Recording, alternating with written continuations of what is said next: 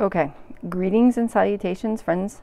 Hi, it's Nikki. Welcome back to the channel, or welcome to the channel if you're new.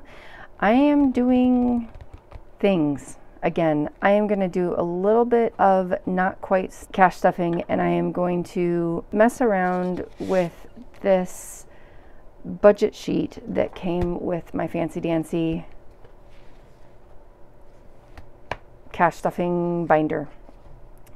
Here's what happened my youngest was saving up for an iPad. And we made certain arrangements where I would pay $80 of it and they would pay the remainder. And they had saved up their portion. So they're not getting the newest and the best, but they are getting good. And I'm proud of them for saving the money. They gave me the cash and I will, I then made the purchase. I don't know if I'm going to need to stuff this, if I'm going to be able to stuff this onto challenges, or if I'm going to need to deposit into the bank. So what I'm going to do is I'm going to put it in the binder for now. I'm going to count it and put it in the binder and save it until a month from now and see where I am to be able to stuff it or whether it needs to get used in the meantime. So let's count. Two, four, six, eight, 100. 10, 20, 30, 40, 50, 55, 60, 61, 62, 63, 64, 65, 66, 67, 68, 69, 70, 71, 72, 73, 74. So it's $174. And because I don't have the uh, fancy dancy cash sorters. We're just gonna set it kind of off to the side here and I don't really know a better way than to just stick it separately into these envelopes. Ultimately, that's not how I hope to use this budget binder, but this is what I have. This is where it's going to get set aside for the time being.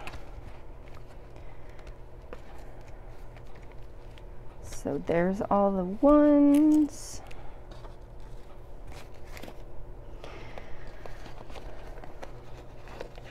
I am kind of inclined to think that we may end up need to spend some of this on things like gas or backup groceries. We go through hmm, seven gallons of milk a week in this house, which is a lot of money and everyone swears up and down that they don't drink very much milk. And in fact, the only one not drinking it is me. But on Wednesday or Thursday, we're going to need more milk. Okay.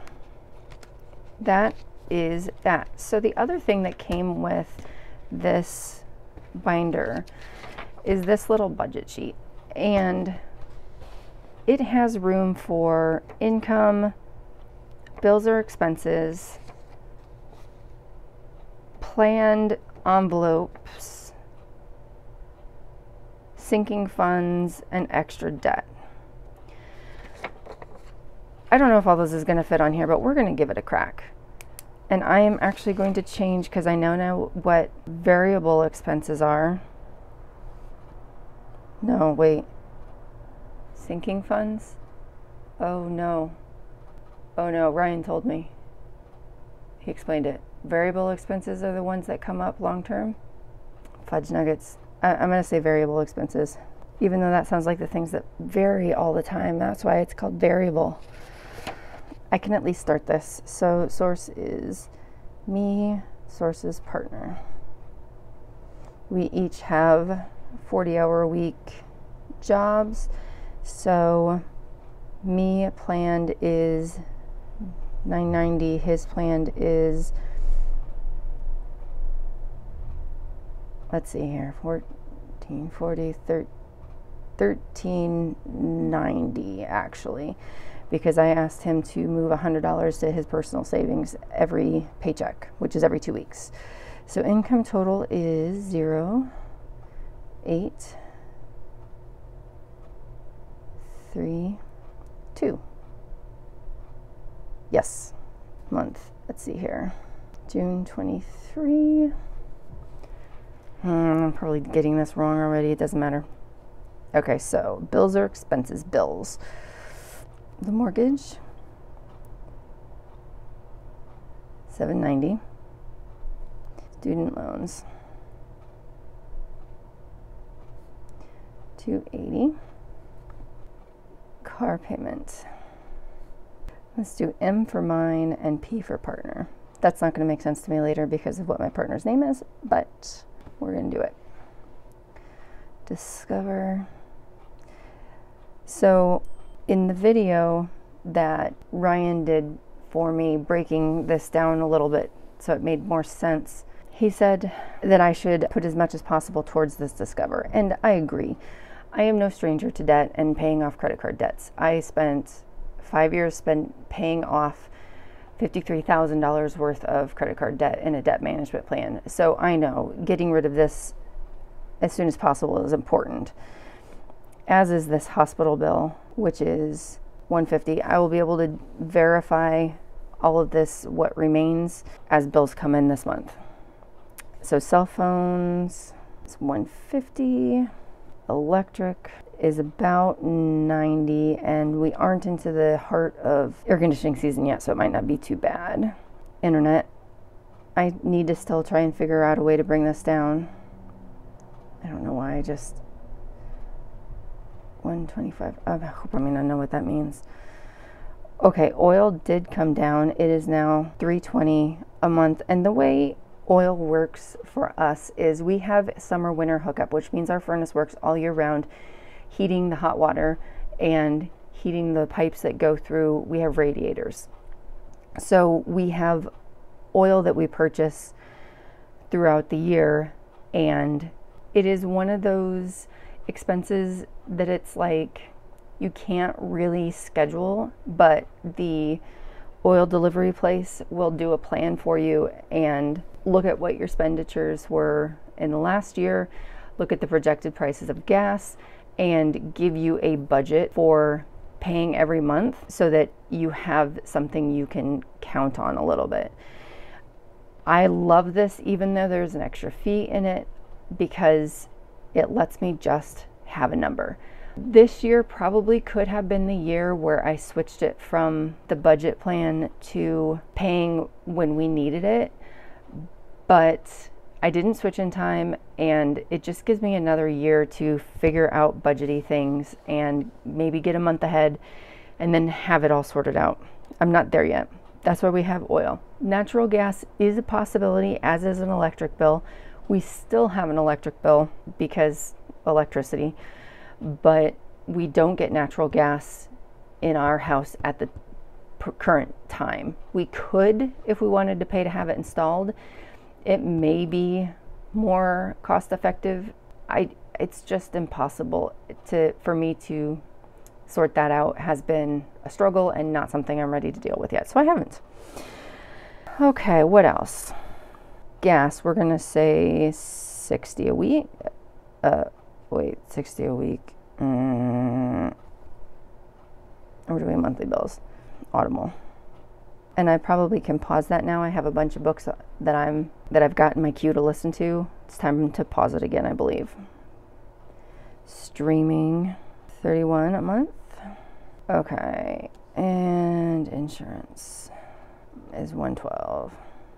Okay. Now, variable expenses. I can't remember what the word is. The ones that if you pay your insurance like every six months, it becomes a variable expense instead of a fixed expense. So I'm just counting these as the yeah. So gas for this whole month, uh, six times four is two forty. Um, I've already paid trash, so I don't have to pay that. So does that go on there? I don't think it does. Let's do water, sewer. 30, 40 40, let's say 45 a month. Triple A. I didn't put that on this side, did I? No. All right, 132 a year. It's 12, 15 bucks a month. Mm, Patreon. This is me supporting other YouTubers. I follow one Hermitcraft Let's Player. I follow one commentary channel, and the other is a small business anti scam, anti MLM book writing channel. Lots of uh, essays, long essays. Okay, we'll put groceries here, and we're gonna say 500. I don't.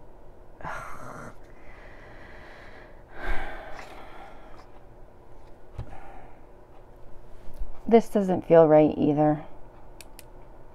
I mean, it. I don't think I have this right.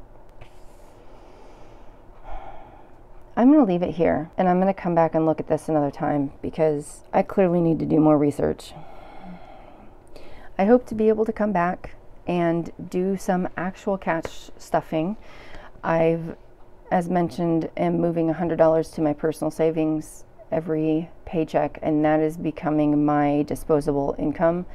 If I want to go get fast food, if I want to get coffee in the morning, if I want to get pizza for the family, if my husband wants to do that, that's where that money is coming from from our personal accounts. They're the things that I don't have budget categories for. I don't have a budget category for eating out right now.